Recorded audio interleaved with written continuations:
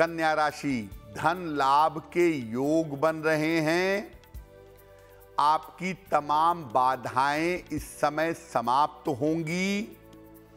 वाहन सावधानी से चलाइएगा। खाने पीने की वस्तु का अगर दान कर दें तो आपका दिन बेहतर होगा। शुभ रंग होगा आपके लिए पीला और भाग्य का मीटर आपको नंबर दे रहा है, सत्तर प्रतिशत मध्यम भाग्य आपके साथ बना हुआ है।